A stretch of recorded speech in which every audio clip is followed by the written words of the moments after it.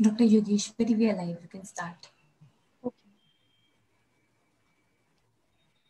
Hi, good evening, everyone. I'm Dr. Yogeshwari, a second year postgraduate student from the Department of Prosthodontics, Uttarakhand State Head Cynodent, and your host for today's webinar, along with Dr. Akshita Gupta, UP State Scientific Head Cynodent, as our co-host. So I heartily welcome you all today.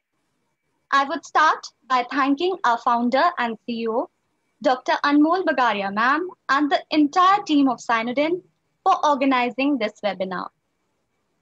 Cynodent is a global healthcare for all, and we bring to you Cynodent International and Cynodent India. Cynodent is a unique international digital healthcare platform made available first time globally. It is uh, getting a revolutionary change in India by bringing digital healthcare platform that is providing and enhancing a good relationship between patients and doctors and is also enabling real-time appointment scheduling. Our goal is to create an easy and fast access to healthcare services.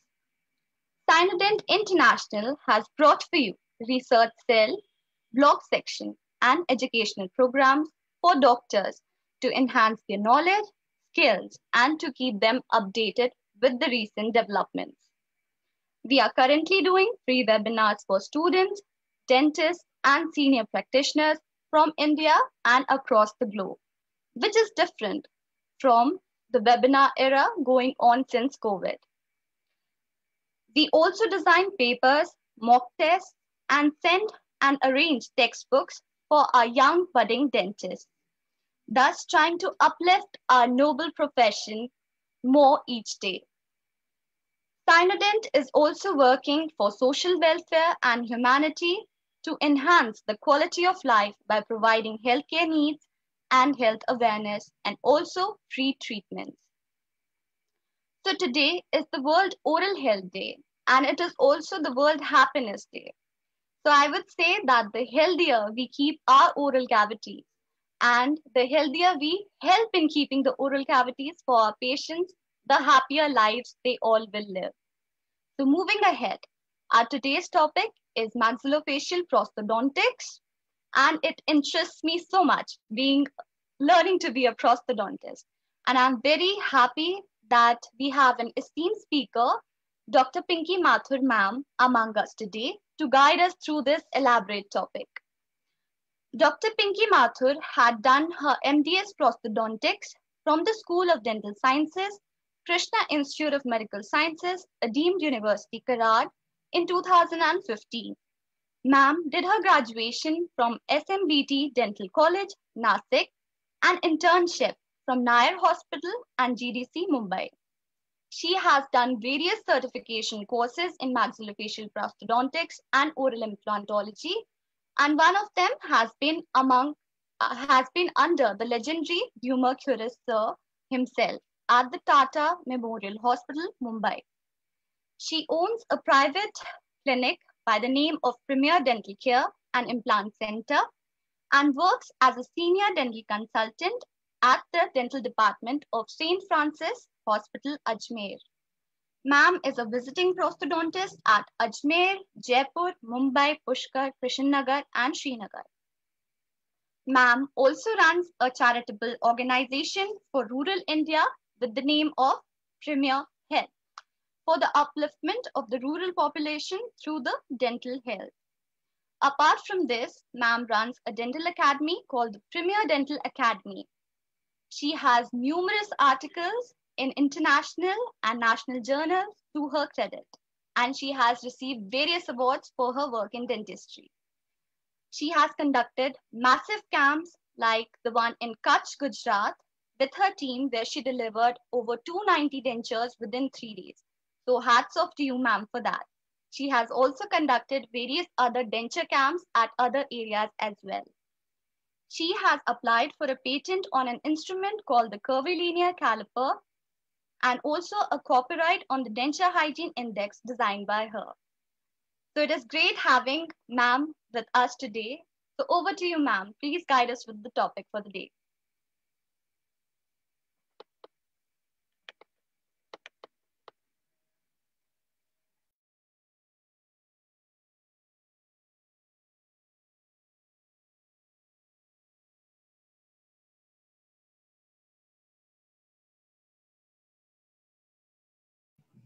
Ma'am, you're on mute.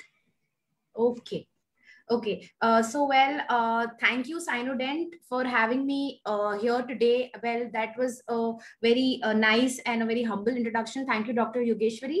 And um, yes, Dr. Anmol, we've been trying to, you know, do this since a lot of time and it's not been possible because of, say, a lot of things. So uh, let's go ahead with it. So, well, uh, my topic for today is maxillofacial prosthetics. It's a huge, huge topic, but still, let's try to complete it within one hour. Okay, so I have already given, uh, I've been given a superb introduction by Dr. Yogeshwari. I don't think this is needed anymore. So uh, I'm Dr. Pinky Mathur. Uh, I'm a maxillofacial prosthodontist. I'm an implantologist. And when I'm not working, I'm either with children doing camps in schools or I'm doing camps for social work. And when I'm not doing all these things, I'm speaking at a lot of places. And I know a lot of you all have been a part of so many of my workshops. So let's start with today's topic that is maxillofacial prosthetics or maxillofacial prosthodontics. Now, all of us know that maxillofacial prosthodontics is uh, something which is a part of dentistry, but always untouched. So, uh, prosthodontics includes all these things. All of you all know we make crowns, bridges, we replace everything is missing. Are we really doing that everything? So, I'm here to tell you people this that replacement of these defects is also a part of dentistry, which is a tangent through prosthodontics. So, whenever you have a patient coming into your dental OPD who comes up with such a problem and has been referred by, say, your onco surgeon to you for, say, whatever reason, you the first thing goes into your head is that this patient also deserves to look good. This patient deserves to function normally. This patient deserves to appear human in every way. So here we are to discuss how we can help these people go ahead with their life smoothly, even after battling cancer or say any other traumatic defects. So uh, maxillofacial prosthodontics as by far i have just explained that it is something that we are going to uh, you know help the patient with anatomic and functional cosmetic reconstruction by giving a lot of prosthetic parts. So you can find the definition in any of the books. So basically what we are going to do is we are going to use maxillofacial prosthesis to replace the missing part of these patients apart from what is inside the mouth also outside the mouth. So when we come about uh, the aim, why am I doing maxillofacial prosthesis? Of course, for preservation of residual structure. Imagine your palate being cut off due to, say, some kind of onco surgery, or you might have a, a say cleft palate, cleft lip. You can just imagine the trauma and the type of functional uh, shortcoming these patients go through because of all these things. So basically, what we're doing through maxillofacial prosthetics is trying to get the patient back to the function. We're trying to improve the aesthetics of the patient, and we're also trying to preserve what has already been cut a part of it what is remaining we want to keep the patient happily living with it ever after because when we uh, come to uh, meet a patient who has just been treated with onco surgery what we see is that onco surgeon ne jitna surgical part tha wo kar diya and now what? The patient is not able to swallow patient is not able to speak. So here is the part where we come through prosthesis in letting the patient get back to their normal life what it has already lost due to say whatever pathological defect so uh, when I talk about maxillofacial prosthesis, uh, we have different causes for oral tissue losses that we are going to replace. So there might be congenital causes like cleft lip, cleft palate. You might have traumatic causes, as I said, gunshot injuries. There might be pathological or with which are treated with radical surgeries, any kind of onco uh, case or any kind of oncological pathology. And this results in two type of factors because whatever is missing or whatever is pathological is resected. So this the resected part leaves behind defects. So these defects are either intraoral defect or extraoral oral defect. So now uh, the defects are classified as maxillary, mandibular, and tongue when it comes to discussing about intraoral prosthesis. We are going to talk about on a basic introduction of each of these factors. Then we have extraoral defects where we have facial prosthesis, nasal prosthesis, orbital, auricular. We have combination prosthesis. All of this is going to be discussed and you're going to be well versed with what a maxillofacial prosthodontic part of your dentistry can do. So coming down to intraoral prosthesis, when I talk about intraoral prosthesis, I talk about defects which are going to include your maxilla, your mandible, and to some extent your tongue also. So when uh, we talk about maxillary defects, we have again what I explained earlier, congenital and we have acquired defects. Okay. So now we'll start with acquired defects. So most of the acquired defects, I, as I've mentioned earlier, are due to surgical resection of tumors or due to trauma or whatever reason. So imagine that after the trauma or the tumor, you leave the patient with this kind of a defect, or you can say uh, this kind of a big hole in the mouth where the nose knows what is going on in the mouth, the mouth knows what is going on in the nose. By this, what I mean, jo se khaya नाक से निकाला, जो नाक से खाया मुँह से निकाला। Just imagine this patient living this kind of a life and the patient not being able to speak not being able to swallow so most of the patients who come to me say that doctor साहब, मेरे को cancer से बचा लिया, पर इससे मैं कैसे बचूं? बिना खाए मैं कैसे जीऊं? Okay so we as a maxillofacial prosthodontist are going to come into picture and get these patients back to functioning okay for example you have a punctured car. You get the tires done you get everything done you get it fixed very nicely. But jab tak aap us gaadi ko chalaoge nahi it's not going to be of any use to you. So we as a maxillofacial prosthodontist are help, going to help you chalao that gaadi so before I get into maxillofacial prosthetics of the palate in detail per se, because this is most of the thing which is which you're going to encounter in your clinic where uh, the oncosurgeon will definitely uh, directly write a referral to a dentist for rehabilitation of the lost structure. So before we get into the picture, why is it important to restore? Jahan kata, wahan chhod do. Restore kyun karna hai? So try to get into the anatomic part of it. Now here, as you can see, this is your hard palate. This is your soft palate. This is the pharynx. This is the oral cavity. And this is the nasal cavity here. So during function, when you are going to eat food, the food is going to be pushed with the help of the tongue into say your entire esophagus. So here what is going to happen that your soft palate is going to raise due to whatever pressure and activation of your soft palatal muscles and it's going to touch your pharynx behind and block the regurgitation of food into your nose and it's going to help swallow and push the food into your esophagus. At the same time, the epiglottis over here is going to become active so that it can close your trachea and it can, uh, what do you say, uh, uh, it can avoid the food getting into your windpipe also. So here, as we talk about resection of defects of the hard palate, what we are doing, we are talking about some kind of, uh, say, carcinoma or pathology here, because of which this part of the palate had to be resected. Okay, so now I hope you can easily visualize what I'm talking about. Imagine this entire part of the palate being rejected, resected. Now, whatever you eat is going to go into your nose, whatever you're not going to be able to talk properly because the resonating chamber, that is your mouth, which is the resonating chamber. When you try the air, the thrust of air which comes out from your larynx is going to resonate into your mouth, into your nose, and that is how we are able to speak. But now there is no seal of the chamber because the portion where the seal was supposed to be formed was resected. So here, by uh, helping this patient rehabilitate to a normal life being, what are we doing? We are going to replace this area of the palate once again with the help of prosthesis. So coming back to my previous slide. So here again, we have certain part of this palatal area resected. The patient can't speak, the patient can't eat. So by trying to close the defect, by trying to close the defect what i mean is by trying to seal back that defect. You know the patient is going to be able to eat everything properly.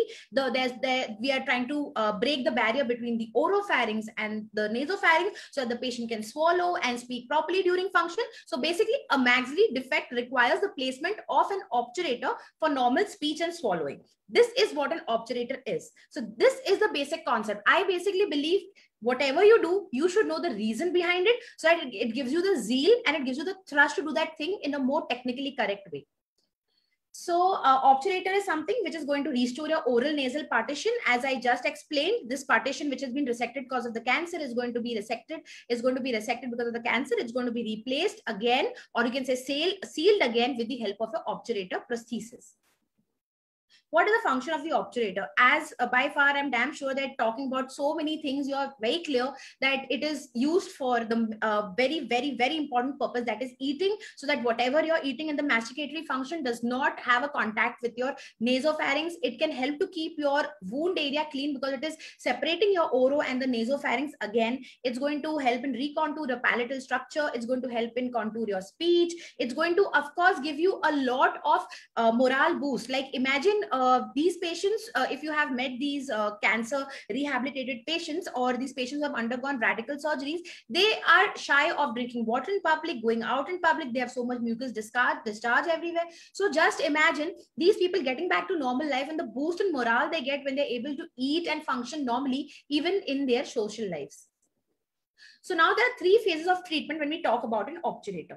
You have an immediate obturator, you have a definitive obturator, and you have a temporary obturator. We would see each of these in detail. And I want you all to be so thorough with the concept that you know that what a maxillofacial prosthodontist does. And to some extent, if you can apply it, you can also do maxillofacial prosthodontist, prosthodontics on your level.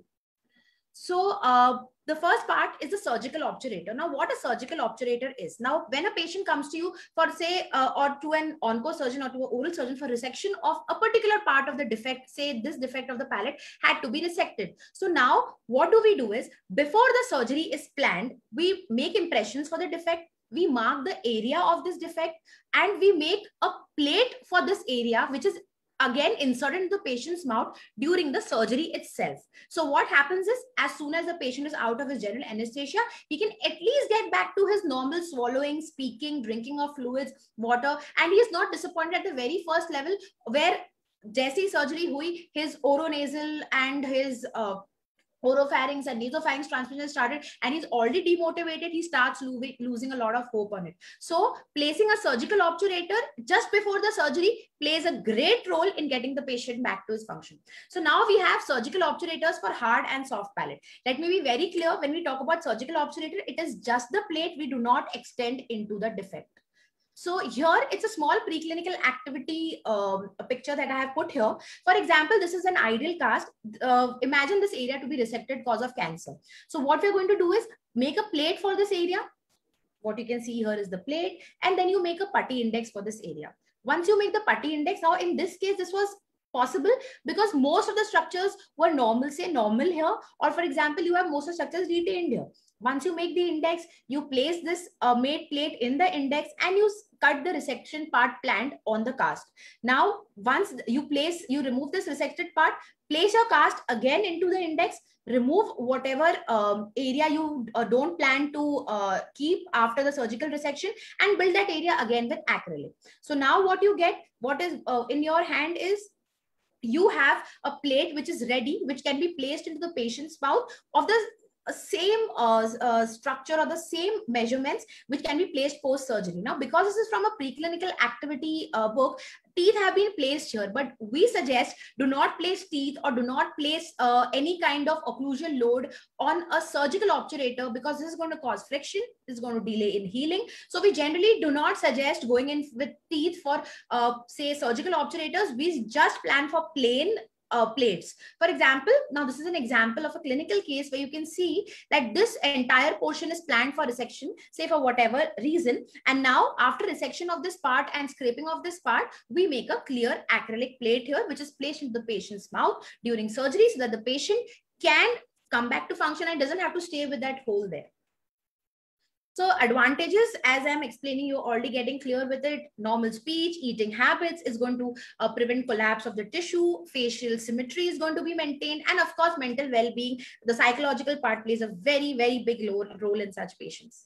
So this is one of the cases uh, where uh, we had, where this patient was referred to me by an oncosurgeon for a resection of this mucormycotic lesion. Excuse me and I made a plate for this, uh, this and I sent it back. Not much was done to be done. Another case here, which we can see is this patient had uh, an edificocystic lesion of the palate. Again, this uh, case was sent. We resected this uh, part from here, and then we placed a uh, we placed a acrylic plate, which was sent to the surgeon, which he placed intra orally after his surgery or after his resection part. So now uh, the next part coming into being, we spoke about the hard palate. Now we have to talk about the soft palate also, because as I explained earlier, soft palate is that barrier which is going to help in deglutition, is going to help in speech by causing the barrier so that the food is not pushed into the nasopharynx and also at the same time the food can easily enter into your digestive system to the esophagus and not run here and there because of this unwanted pathological uh, or you say post-surgical wounds. So in this before i get to this i will explain to you a small concept again because it's easier to go ahead with concepts. So here what we see is again i have the same diagram which i explained about the soft palate and the hard palate. Now imagine this part from the other view. Now over here you can see this is the soft palate structure here. So here you have the hard palate here you have the soft palate you have the musculus ovale here.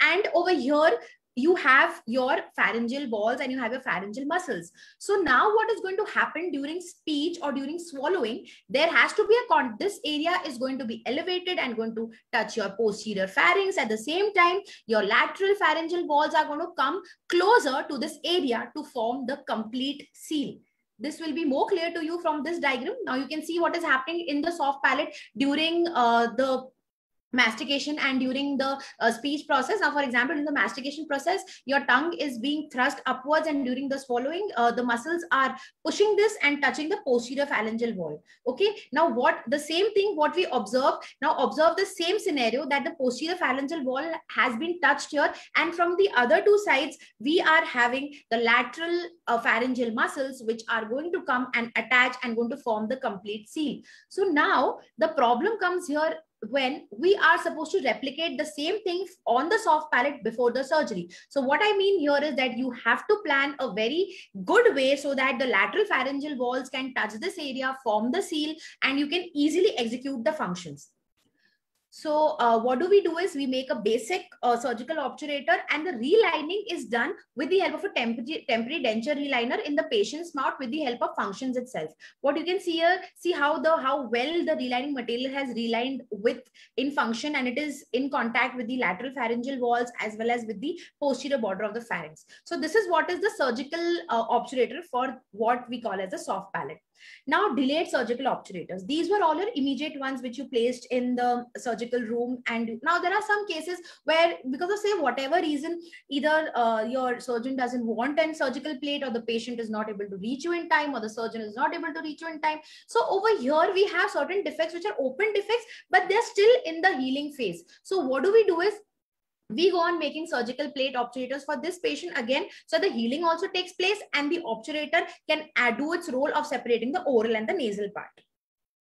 So over here what you can see one of my cases where this patient was referred to me later after the surgery. So even though we got beautiful impressions uh, of the defect which you can see here we've got this beautiful extensions and uh, we have got a very good recording of the defect walls but we had were just instructed to go in with a surgical plate because this patient's healing had not taken place. So we couldn't give an obturator to the patient. It's very important before you go in for the definitive obturator the healing of the entire defect has to take place.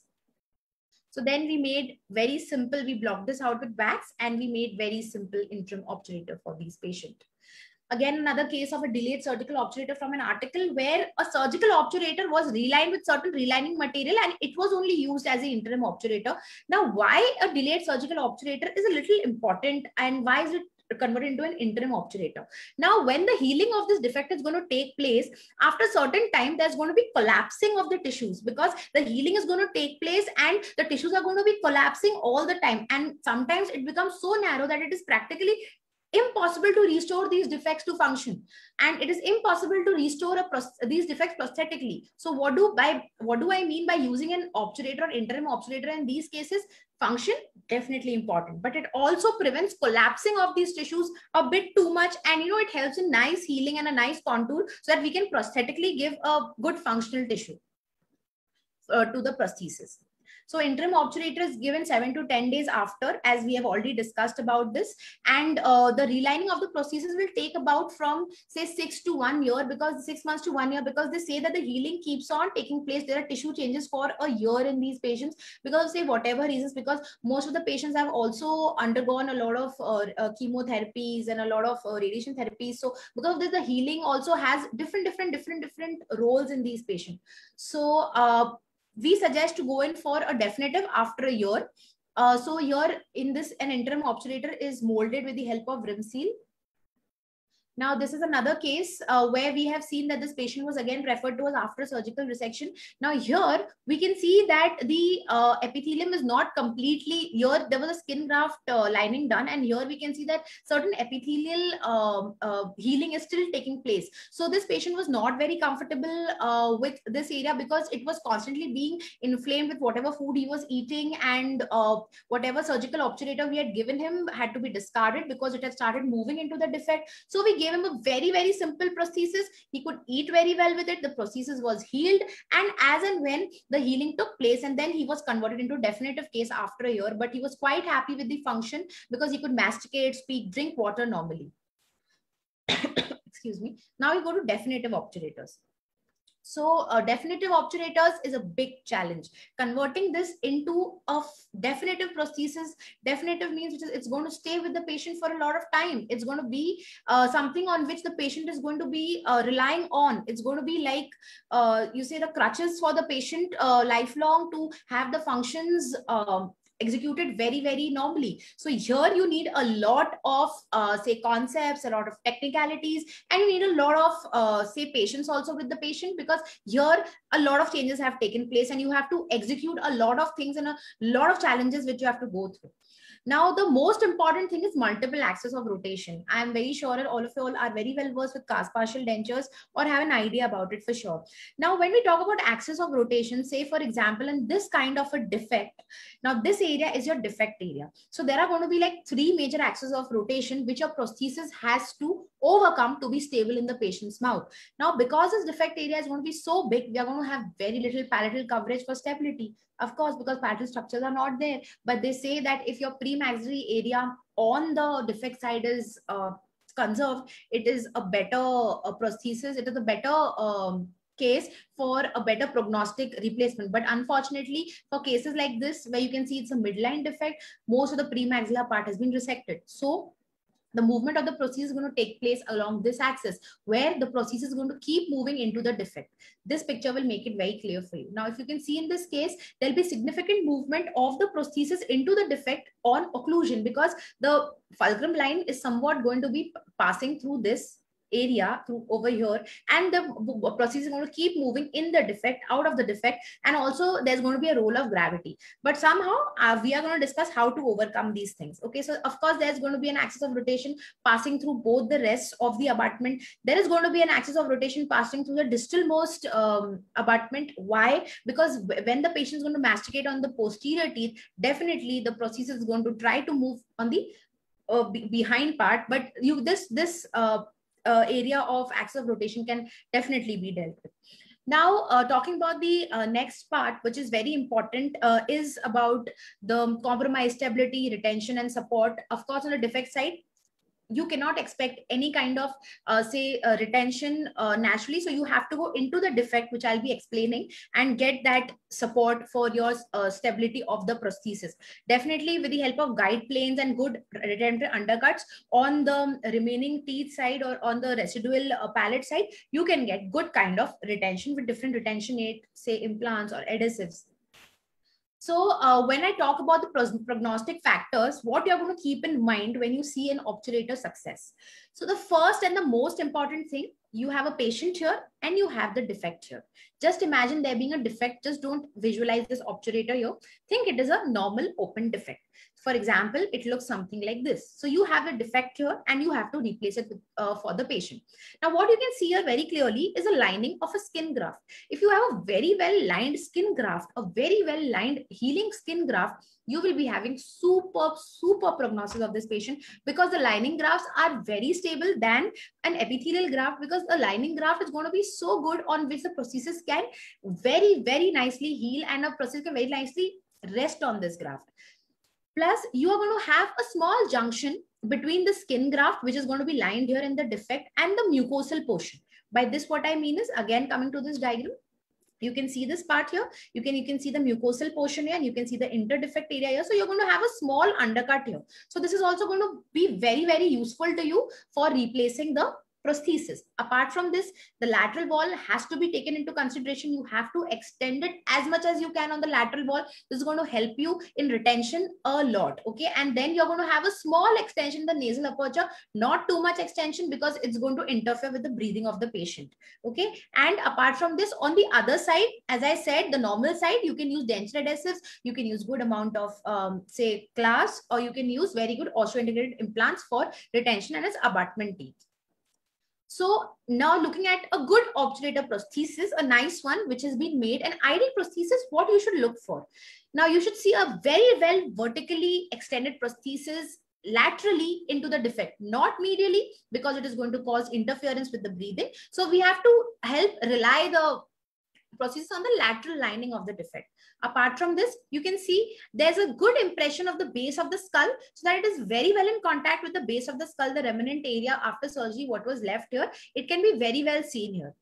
Apart from this, there are going to be two other very interesting concepts which you have to see. One is the posterior extension should be right very well so that it can very, very well go and adapt to the palatal uh, surface area of the posterior part of the obturator. So it can go and contact the pharynge, pharyngeal muscles very well so that all the functions can be executed very well. And the soft palate is uh, very very uh, important uh, to be very uh, you can say very technique sensitive and to be very compatible with your obturator. Of course you should see a good amount of uh, vertical extension in your lateral border which can be seen. You, you you should have a good amount of base of the skull contact.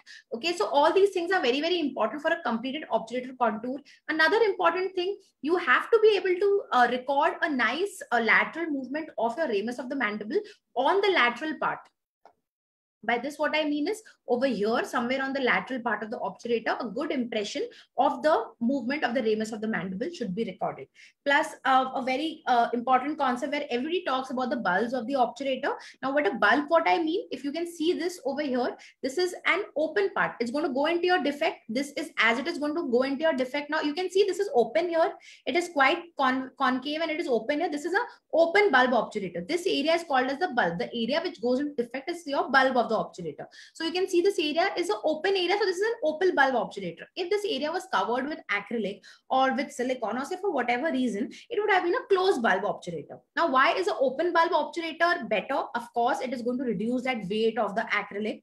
And first and foremost, we are also, uh, you know, uh, tense fighting with the force of gravity, axis of rotation, and plus you give a heavier obturator. So it's always going to keep falling. So all your other principles are not going to work that well. So what you're going to do in this case is you're going to give an open bulb obturator if possible. Second advantage, whatever mucosal secretions are going to be collected into this obturator bulb can be easily cleaned by the patient whenever the patient wants it. And it's going to be a very, very uh, hygiene maintaining kind of process. And weight of the prosthesis is already going to give patient that confidence.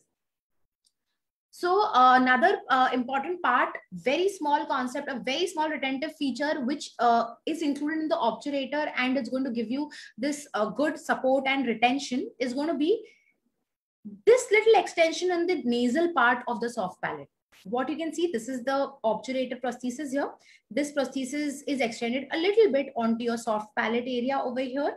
Okay, this area, the soft palate is relaxed, but also a little bit part of your obturator is onto your soft palate on the nasal part. This is the nasal part and the soft palate here. So little bit of extension is onto your soft palate. So here you're again getting an undercut plus what's happening when the patient is speaking or when the patient is swallowing this part is going and becoming activated and the seal is formed here. Now once the seal is formed here it is going to again enhance your masticatory effects. There is no there's going to be no chance of leakage whatsoever from this area also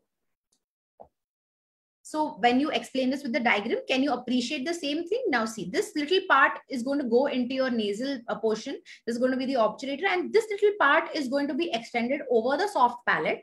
And this is going to act in retention. It is going to, you know, uh, be very uh, uh helpful in trying to block those slight, um, you know, leakage of fluids here and there. So the clinical procedures of obturator is going to be you make an impression for a RPD framework. You make impression with alginates or polysiloxane materials. After this, you make a framework first for the cast with all the principles of your cast partial denture. You do border molding in that area. You border mold that areas with a low fusing compound because the flow of this working time is very good and the flow is very good of this low fusing compound. Now, uh, next is uh, your you take wash impressions with the help of polysulfide materials. Now, uh, just keep in mind that this impression has to be minimally displaceable. Like uh, try to scrape enough from your uh, initial uh, material which you have made for an impression and make it a very passive impression. If it is an active impression, it is going to really trouble you with a lot of irritation on the tissue and the patient is not going to be able to wear the prosthesis because healing in the defect is really slow than the other areas of the prosthesis. So uh, to check whether uh, this, this is an active or a passive prosthesis, we can use um, thermoplastic wax and the areas where the wax is exposed, we know that area has to be trimmed and recorded again and it is a passive area. Now, when you talk about a completed prosthesis, with all, all the concepts and with all the um, uh, with all the basics that I have applied uh, till now, an obturator prosthesis becomes very, very successful and using it for the patient becomes much more easier if it is made with some little bit of technical aspects here and there. So uh, again, uh, once the prosthesis is made to identify whether the prosthesis is a passive or an active, we use uh, a pressure indicating paste. For example, if the patient has um, an occluded salivary gland because of uh, the chemotherapy what he's gone through, then you can use disclosing wax to determine these areas. So this is how your disclosing wax should look. You have no active areas, no exposures, and you have a uniform thickness. So you know that this, this is a passive prosthesis. So now obturators of the uh, nasopharynx, why when you have to extend it into the nasopharynx. So again, come back to the same thing where a, lot, a big part of the palate has been resected. So uh, in these cases, imagine how the patient is going to speak, talk, because so what we're going to do with the nasopharynx defect is we are going to replace this part. We are going to replace this part so that the nasopharynx and the oropharynx is going to be separated. So what do we do is we just make a simple extension onto your impression materials so that you can record this area very well. Now, once these extensions are made, as I explained earlier, it is going to be very clear with this. What we aim by making obturators in this area or of the soft palate is that during function, this lateral pharyngeal wall is going to contact this area as well as the posterior pharyngeal wall is going to contact this area. So it's going to be a total seal because of which the patient is going to be able to swallow and the fluid is not going to escape or leak into the nose or this area is going to be active only during function.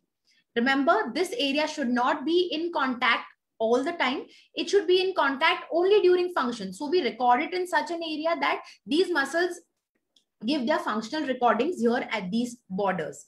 So what will happen with this? Two things. One, the patient can very well eat whatever he wants. Swallowing won't be a problem. Speech won't be effective because certain kind of plosive sounds, certain kind of nasal sounds can easily be done when the patient wants certain gap or certain air thrust into the nose for certain sounds like N and G. There the patient is going to be very easily having this gap where he can easily speak because this is a passive prosthesis. It will be active when only when you swallow or you thrust when these pharyngeal walls or these lateral walls will be active. So here, what we do is we border mold these areas. Now, how do you border mold these areas? You tell the patient to do all the activities. You tell the patient to swallow. You tell the patient to uh, speak certain words. You tell the patient to put the head down. Tell the patient to rotate the head so that this area is recorded. Now, for an ideal uh, impression, you would see that, and you can make a final impression with any kind of disclosing wax. What you can see that over here is that this area height should be at least 10 to 15 mm into the nasopharynx so that the blockage takes place and nicely the patient can execute its function. So here is uh, one of the cases where uh, I've taken this from one of the articles where this has been replaced with the help of the prosthesis. Now you can see very well that during function, these pharyngeal muscles are in contact and there's a small area that is a you can call it the passive ridge which of the pharynx which is in contact here with the posterior wall and the entire seal is completed and the patient can eat drink and speak very well. Now also uh, another article says that this defect changes its shape and size with time and here you can see that a patient who had an obturator of this size when remade came with an obturator of this size. This means the muscles also keep adapting all the time to your tissues so that the changes can take place so uh, second thing, when you uh, change, make these uh, obturators for the nasopharynx, you should it should be kept in mind that these obturator surfaces should be concave, not convex. If they are convex, it's going to irritate the dorsum of the tongue and the patient is going to keep gagging all the time and swallowing is also going to be a little difficult. So further, as I said that for retentive purposes, if you do not have enough structure or you don't have enough teeth, you can go in and you're lucky enough to have a good premaxillary bone left. You can go in with implants uh, once a, a, good time after irradiation is completed. So you can go in with implants or prosthesis. And as I said that the most favorable defects are the defects where the premaxilla has been uh, say conserved during surgeries so that the patient can easily go in with osseointegrated implants or better retentive aids. Now, uh, meatal obturators, these obturators are obturators now uh, where it is a part of the nasopharynx complex only. Now, when I talk about this part of my obturator, say in an edentulous patient, this part is also covering the posterior part of the nose. Say it is between, now see this diagram, it will be clearer. Now, this is the nasopharynx, oral cavity.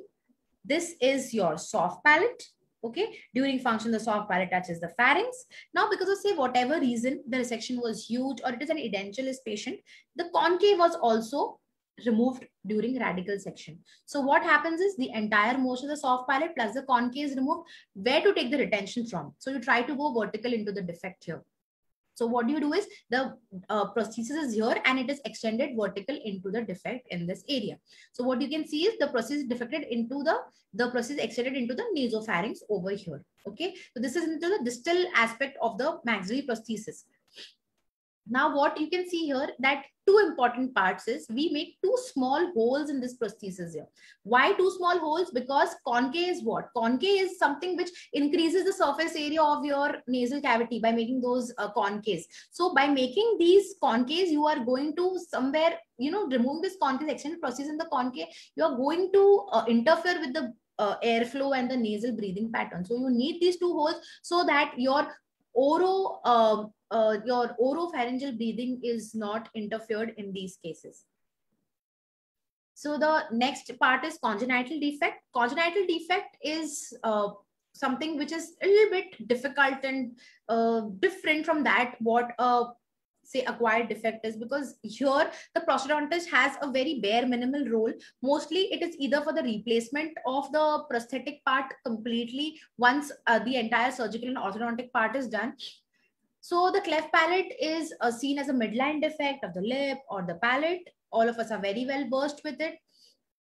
So the treatments of the cleft lip and the cleft palate, you have like a lot of treatment which goes over till the entire growth period. Okay, so treatment can involve a team of professionals, orthodontists, surgeons, uh, pediatricians, uh, oral surgeons, a lot of people work in this and a prosthodontist also. I will just go directly to the role of what a prosthodontist is going to do in this. So the first thing uh, is something called as a naso-alveolar molding appliance. So it's going to be a hell of a task, make an impression for that little thing, which is who's already so uh, troubled with what's happening. Everything he's eating is coming out of the nose. He's not able to speak, not able to swallow. So somewhat we try to make the impression with a silicone putty material. We pour a cast out of it. Once a cast is poured, we make a acrylic plate on it and which has this can be heat cured and it has a small extension over here now, what is the use of this prosthesis? What do we do is we place this into the mouth. We place bands on both the sides. We have bands which are tied to the prosthesis. So now these bands are going to pull the prosthesis from both the sides like this. So this side is going to be attached, banded here. This side is going to be banded here. So now when these muscles and there's going to be excess pressure from outside like this, the palate is palatal bone is going to grow at a greater speed and it's trying to going to try to you know join or fuse at the mid palatine suture how much ever it can. Apart from it there is also something you can see that the because the alloy of the nose in these patients are collapsed a lot of time uh, uh, so here there is a small part which is going to be a nasal extension which is going to push that uh, nasal uh, muscle so that the aperture is also made with time this is what happens as and when the healing takes place. This is what happens with this patient. And if, for example, it's a bilateral defect, you can make two apertures and you can make two extensions for the patient so that it can easily be done for both the sides.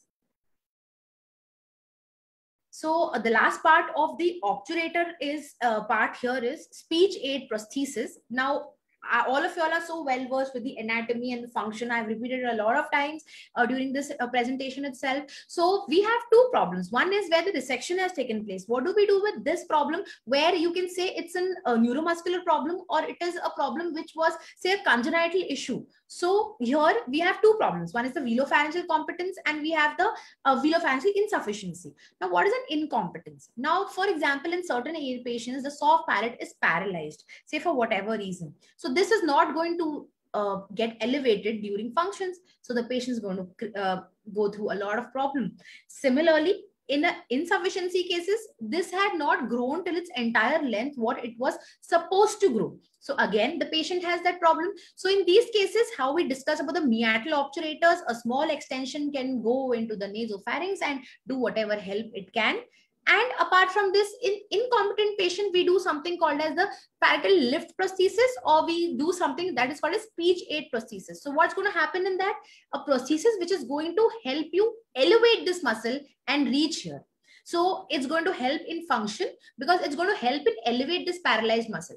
Now you cannot give a speech aid prosthesis in all patients. Now there are certain patients in which this muscle is partially active in those cases it's going to be very rigid. It is it's going to keep cause the patient a little bit of gag because it's going to keep pushing the prosthesis touching the dorsum part of the tongue. The patient is going to gag. So before doing that test this muscle with the help of a mouth mirror. If it is completely uh, say lifeless or it is completely mobile go in for the palatal lift prosthesis. So what will happen here is you make this, um, say the part of your cast partial or your denture and you have this small extension which is going to lift your palate from this area. So once the palate is lifted from this area, over here, it is lifted to this portion here and the patient gets again to that barrier between the nose and the mouth and the nasopharynx, oropharynx and the patient starts speaking again.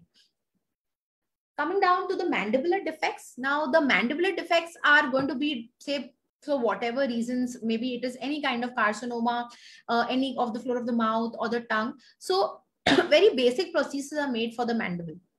We make guiding flanges because once your resection or hemimandibulotomy has taken place, the muscles cause this huge problem. Trismus is one problem and your muscles try to go uh, try to pull uh, your entire uh, lower mandible to the side of the defect because of extra contraction or the extra healing. So because of this we try to get it onto the other side so that the mastication of the patient is possible with the help of the palatal extensions of these guiding flanges. You have wide palatal ramp say the uh, lower cannot come, mandible cannot come completely in occlusion. So we try to extend the occlusal table so the patient can at least masticate on this ramp. We have mandibular guiding flanges, which can help pull the mandible and keep it in occlusion towards the non-resected side. Now, one of this case, uh, which I have also published in one of the journals, this patient came to me and uh, this patient was still uh, having a very compromised uh, maxillary uh, teeth area. So this area was resected also for the patient. This is the x-ray of the hemimandibulectomy that had taken place in the patient. Now you can see here that I cannot use too much of guiding flange here because already this area has so much compromised processes and the chemotherapy was just over say seven or eight months. I could not afford losing a teeth uh, to avoid osteoradionecrosis. So what I did is something very different. I tried to make an interim prosthesis and I gave a good groove here where the upper teeth could come and rest into the groove and this itself acted as a guiding prosthesis. Now you can see a very good uh, change here where somewhat the deviation of the mandible could had could have overcome because of this reason because this is without the prosthesis and this is just with the prosthesis and you can see how well the patient um, has corrected on the deviation part. And I published this article again in International Journal of Case Reports. So this is another case where a hemimaxillectomy had taken place for this patient. Again, the same problem that the defect was going towards the resected side. The, the mandible was getting deviated towards the resected side. So what we do, what we did is we made a small extension here so that it could be locked here. Your mandible could be locked here and it could, uh, the muscles could get accustomed to staying in this position eventually. So this acted as a physiotherapy also for this patient. Again, we have tongue prosthesis in certain areas where the tongue also has to be resected. Say, for example, the entire tongue. What does this patient do next? He can't eat, he can't swallow, he can't speak, so what we do is we try to somewhat make something which can act like a tongue because we cannot make a mobile tissue, of course, but we can make something which can help in the barrier method. We can make these grooves here so that the food bolus can be entered into the mouth. We try to make this area so that the this can be pressed against the palate to help in swallowing when the mandible moves. Apart from this, we can also uh, help uh, in patient aiding in speech because of the uh, tongue and the prosthetic part touching the palate, the resonation is better. The patient can speak a lot of words. And then after this, we can see that the patient is highly motivated because the prognosis is good. So uh, the mandibular defects, the maxillary defects and the tongue and all was very exhausting, I know. And now the part which is more of uh, say cosmetic part comes into it. Now we go to extra oral defects. So the extraoral defect, we will directly go to what it exists. So the first thing is the ear prosthesis. Yes, ear prosthesis does come in maxillofacial prosthetics.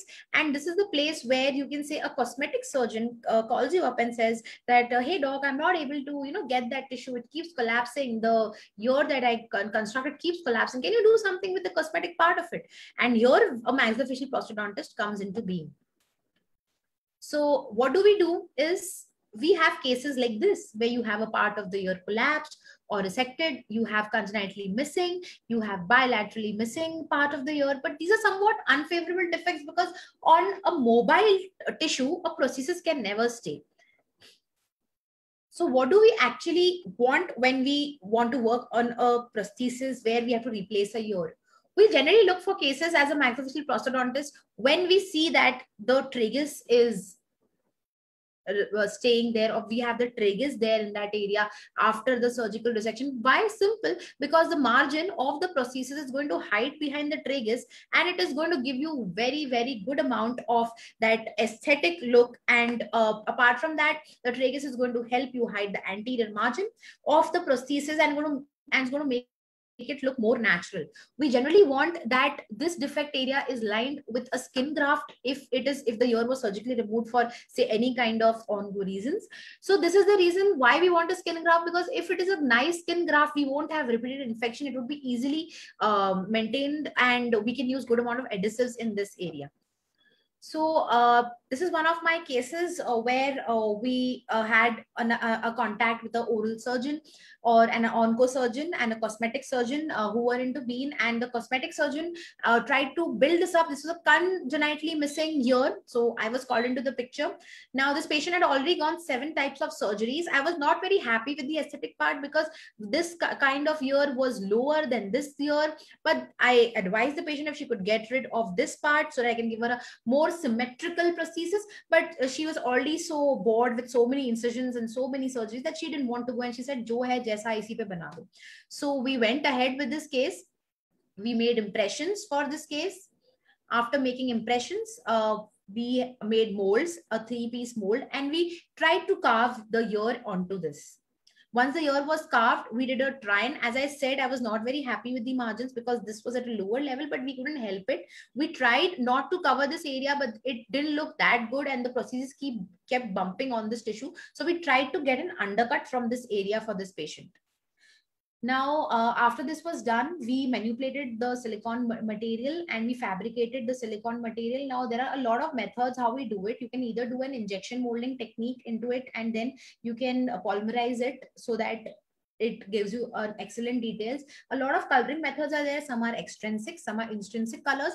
Extrinsic colors are better because you can uh, duplicate them very well and then you have a coloration of different uh, types like with the help of shade guides you can you know try to get them beautiful and artistic and then you can do a little bit of deglossing so that you know it gives you a more natural look so uh, this is how we uh, retrieved the prosthesis. We did a bit of try-in on her, and this is how it looked uh, for the patient. Uh, and I tried to put that little earring there so that I can somewhat, you know, overcome the uh, level and the patient was very happy because she was happy to see that she has ear and uh, on the other side also she can wear a earring nicely on the other side also and she can tie her hair behind also because she's kept opening her hair from one side to hide the defect this is how the patient look and i try to hide this margin because whenever i try to extend my prosthesis till this area it kept bumping off from the tissue. So i try to hide it at this margin. So with the help of a earring uh, part i try to hide the margin of the prosthesis and it was an adhesive age prosthesis. Nowadays CAD CAM procedures are coming in a lot for uh, this because you have 3d prototyping and you have CAD CAMs where uh, because of 3D prototyping, your your process is almost ready. You don't have to do so much uh, um, what is a technical aspect work. And if it comes to you for sculpting, it is very easy. Divide it into different different square areas and try to replicate that in your uh, wax pattern you'll be easily able to do that. If for example see this small area it's so easy to replicate this area exactly in this area. Rather if you see it as a whole it will be difficult to replicate this area. So divide into equal compartments so that you can replicate that particular compartment in that particular area. So now coming to margin placement very very important if you have the tragus bingo it's very good. You can hide it behind the tragus and you will be so uh, happy aesthetically that you to identify whether it is a prosthesis or it's a natural ear. If you don't have the tragus simple thin the borders so that it can blend into the skin very easily. If the skin does not bounce out like it was happening in my case blend it in very thin on the skin so that the, it again doesn't look and can be retained with adhesives so these are some partial ear defects, small ear defects, which are again replaced. Again, as I said that if you have partial defects, it is not at all uh, favorable, but I've picked this up from an article where they have been very successfully able to replace it with the help of aesthetic, with the help of adhesives. So also if retention is an issue and the ear prosthesis keeps falling off, even after the adhesive, there is something, something called as um, uh, cochlear implants which are coming into being a lot and you can put it into the mastoid process here. The only thing is that try to keep that area clean extract the patient that area should be clean. Otherwise peri-implantitis develops here in this area which might cause problem and then the you can you can have all the other problems and the patient is going to keep complaining of irritation and not wear prosthesis. Coming down to the almost the last part that is the orbital prosthesis and ocular prosthesis. Now we have two kind of prosthesis for your eye. Now till uh, you can replace a eye you can replace a eye but it's no more the time where you know people roam like those pirates and you know wear that one eye covered you know. So it's the time where a prosthodontist comes and you know gives you those eye part over there and you don't have to hide. If you don't have a eye you can at least look cosmetically good so coming to the orbital defect, again, we want all the defects to be lined with good skin grafts. We don't want uh, you to retain the eyelids without any reason because eyelids are just going to interfere with the process because any mobile tissue is not going to let the prosthesis sit on there. When you talk about dentures, flabby tissues always cause problem and movement in the prosthesis. So when you talk about orbital prosthesis, what we want is a nicely lined defect. We don't want eyelids. If possible, the eyebrows should be retained to some extent, but it's okay. Now this kind of defect you can say is kind of acceptable defect, but defects like this where the eyelids have been preserved is not possible because you can see here it's not possible to replace the defect at all because uh, inside the socket there is no place on the orbital uh, area, I cannot replace because the eyelid is going to keep moving and pushing the defects out. Further, you can see in this case also, we don't have enough area for the orbital processes to rest on. So we need a perfectly lined defect and we need a perfectly uh, lined, um, uh, what do you say, made defect if possible. Ask your surgeon to do those corrections and send the patient back to you if the patient uh, agrees to do so. So coming down to impressions of a nice orbital effect, you place your impression material, place gauze on it, place some adhesive, put plaster on it. So you will be having a whole mold over here. It's going to look somewhat like this. Now in this area, what you're going to do is just place your, um, so sorry, yeah, this is about 3D printing. yeah, what you're going to do is just place an eyelid. You get ready-made uh, eyeballs, you know, like you get those prosthetic eyeballs at a lot of places. Take those eyeballs, place it in your uh, socket, do some wax up and do some nice wax up, which is going to give you and uh, look very similar to the skin around it once you do the wax up see the wax up from different different different areas. Try to uh, center the eyeball with help of the other prosthesis do your uh, nice glasses. If you want to hide the margins of the prosthesis try that how it looks with the glasses also. Now after this try to see it from different angles. If you're very artistic if you can send it to a good lab the lab will give you these very nice uh, lines and very nice effects after this, uh, you can go uh, and uh, look at the orbital folds, show it to your patient, go ahead with the uh, flasking part, add your silicone material to the part around it. Once you deflask it, you add the silicone material around it. Once you add the silicone material and your eye prosthesis is ready, you place your eyelids in those areas and here the patient is ready to go wear those amazing prosthesis. Now what I skipped uh, now in the slide behind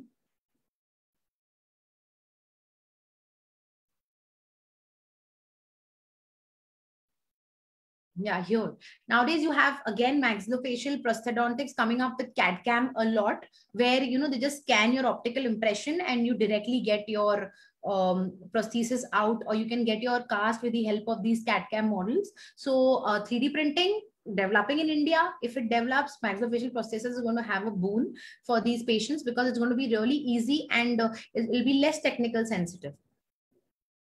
Okay, so uh, for further uh, say retention you can even go for orbital implants. It is mostly placed in the supraorbital rims because they say that it has good periosteal uh, blood supply. So here is the case. The only thing is that maintaining the thing is very important. You don't have to uh, end up getting those peri-implantitis in those areas. Cleanliness is maintained is very important there is another kind of implant uh, which are placed in the socket. Everything is enucleated. It is placed at the time of surgery behind the ocular content.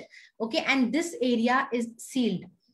It's just a little bit of extra knowledge, something just come up very well. And you have a porous uh, orbital implant, which is placed into that socket. Once that placed into the socket, you have this small uh, nail kind of magnetic attachment on which your uh, orbital prosthesis is going to attach. This is done very, very rarely, but something which has come up and is going on since a lot of time. Coming to ocular prosthesis, now in orbital prosthesis, the entire content was removed. In ocular prosthesis, you have the eyelids and you have just the enucleation of the socket that is done. So now this was patient who was referred to us and he had severe inflammation with the old prosthesis. So in this patient uh, with uh, talking to the ophthalmologist and talking to certain surgeons, they said you can go ahead, we control the inflammation with medicines. And here we had the patient when he was ready for uh, the eye prosthesis because he had been wearing it from quite a lot of time. We made impressions with a very, very simple technique with the help of say the uh, the the syringe uh, cover and we uh, placed the made the impressions with the help of nice alginates. And after that we made trays and we border molded this area very well. We got the cast done. After getting the cast done and after doing the centering and everything we got a very nice uh, eye prosthesis which is readily available. We did the borders with the help of the cast. With the help of the cast, we did the borders and we did the placement. And then this is how the patient looked when we gave the patient the prosthesis. Okay, so the nasal prosthesis, of course, we have nasal defects also. Nose prosthesis is also part of maxillofacial prosthodontics. You replace the nose. You have to just keep in mind that you have to keep in mind these areas. You have to keep in mind the area of the, say, above the philtrum, the columella of the nose should be really well. The ala of the nose should be designed very well and your prosthesis should hide behind this area. Some basic principles and you can go very well with maxillofacial prosthesis. You have staining, which is very important because you're going to uh, catch the eye of the uh, person who's going to look at you. We also have integrated implants for good retention. Like you have this areas, you can place it either in the floor of the nose or the glabella, and you can retain your prosthesis. So again, we have the combined nasal prosthesis and cheek prosthesis where you have the obturator with the nose or you have the obturator with uh, say the entire hemifacial prosthesis. These are all different types of maxillofacial prosthodontics. You even have areas where you also replace uh, fingers, which is to some extent done because I remember doing a finger case uh, in my college, but after that uh, in private practice, not referred. Uh, so custom fitted uh, silicone prosthetic devices are nowadays made by a lot of people and maxillofacial prosthodontists do it to some extent. You have midfacial defects. Maybe it's a gunshot injury for this patient. Again, from an article, a big kind of a defect and this entire defect was replaced. A lot of work was done in this patient, um, which I referred from the article. The, uh, the work was done with the help of on the nose part. It was done on the obturator front. The teeth were replaced for the patient and it was giving a patient a new life. In short, materials that we use for doing all these things. You use acrylics polyurethanes and silicone elastomers. You have hell lot of materials. Everybody is coming up with the research on materials but just keep it simple.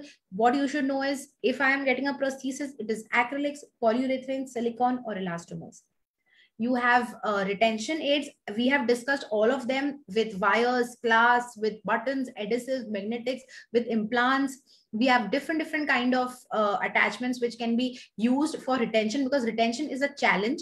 Now also in cases we can even go for uh, retention with the help of glasses. Imagine how well a nose prosthesis is going to sit there with the help of glasses and eye prosthesis on an unfavorable defect with the glasses.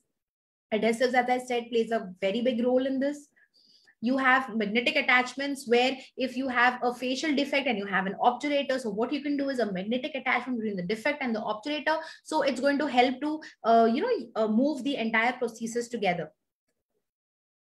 Coloration, you're going to have colors which you're going to uh, do it your lab is going to do it most of the time for you so it's not going to be very difficult for you to uh, think about the colors. So basically uh, summarizing my entire session by talking about maxillofacial prosthetics i want that all of us should try and binge into this part of the dentistry which is quite untouched when it comes to uh, practicing uh, dentistry in our country. Because uh, losing uh, your uh, body parts to these defects is not end of life but a beginning of new journey which is not going to be possible till and when we are going to help these patients function back to their life and be there and stand neck to neck with the oncosurgeons. Because it is very well said in the book by the man himself Dr. Beumer Curtis, who says is that an oncosurgeon should always consult a prosthodontist before he cuts that part so that he knows whether replacement is possible or not.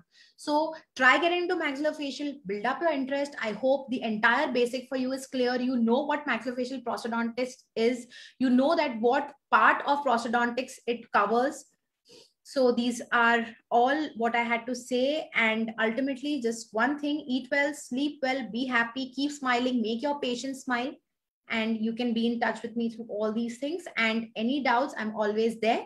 And i hope you are going to touch those aspects. Try understanding try uh, directing your patients to the right part when these patients come to you. Thank you.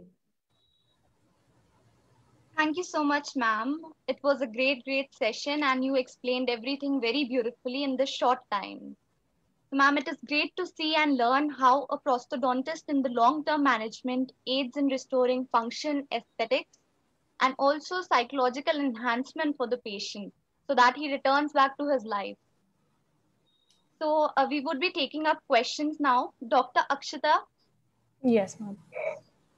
Thank you, ma'am, for such an informative presentation. We have a few questions. If you permit, shall I proceed? Yeah, please, please. Yes. So the first question we have is how much time shall we wait for going in for implants in a patient post radiotherapy and do they succeed in terms of osseointegration? Okay, so osseointegration has been this big, big doubt because osteoradionecrosis is this big thing which comes up with radiation therapy. As I mentioned that we should ideally wait for one to one and a half year before we go into implants. And if you're placing implants go give that hyperbaric oxygen to the patient so that somewhere or the other you can you know take care and you know not uh, you know get into the radionecrotic phase. And uh, implants in in uh, maxillofacial prosthodontics is one of the most upcoming thing because with all that resected implants is going to give you that extra retention. Go in for it but wait for one and a half to two years Ma'am, the next question we have is what is the main consideration which should be taken care in case of maxillofacial prosthesis? Uh, consideration uh, as in in which aspect? Ma'am, the overall consideration about uh, overall consideration procedure- the simple thing is you should be able to replace it. And if you're not able to replace it you should be able to not play around with the patient because it's very simple. There are cases where patients come with trismus and they have a big defect and they're referred to you. And in a lot of cases you're not going to be able to make those impressions. Say no to the patient. Say you cannot make the prosthesis. It doesn't make any sense. If you can't record it you can't make it. And talking about the scope you should be able to get the defect functionally uh, you know right like technically right if the prosthesis is not serving you the process or not serving you the function it's going to be a fail. So try to uh, be true to yourself true to the patient and give the patient a prosthesis which is functionally active. Ma'am, the last question for today we have is what type of failures are associated with maxillofacial prosthesis? a lot of failures a lot of failures. First the first question itself osteoradionecrosis happens in a lot of cases where you try second the patient just does not adapt. You have ulcerative tissue you have friction everywhere. If the patient is uh, say for example very close to when he finishes radiotherapy he'll keep having frictions in a lot of places. He has dry mouth so the prosthesis is not going to be retentive. It's if it's a, a say edentulous patient who's come for an obturator to you there's the prosthesis keeps falling. It's not going to be adhesive. It's not going to be it's not going to adhere because if the adhesive is failing all the time. The patient has skin infections. The patient doesn't wear. The patient is not compliant with the prosthesis. So there are a lot of things. Okay if the tissue keeps collapsing if the tissue keeps contracting too much the prosthesis keeps failing a lot of times. So there are a lot of shortcomings also to maxillofacial prosthetics. But if you try to do these things in a uh, you know when is the right time to place the prosthesis if you place it middle of the healing the prosthesis will fail always wait for the healing be patient work with interim prosthesis then only go for definitive ones Thank you, ma'am, for solving all our queries. And uh, I would also like to thank Dr. Anmol Bagaria, ma'am, and Team Cynodent for organizing this event, and also my co-host, Dr. Yogeshwari, ma'am. And now I would like to uh, invite Dr. Anmol Bagaria, ma'am, to conclude the session with a few words. Thank you.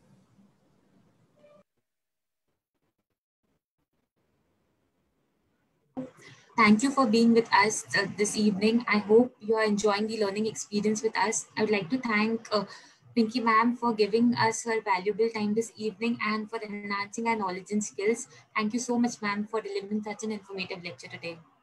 i hope i could do justice it's a very vast topic i just tried to cover everything i don't know if i could do justice but oh, yes it's a very uh, vast thing. And thank you for having me here. Thank you dr yogeshwari dr akshita and dr anmol. Thank you for having me over. Thank you, ma'am.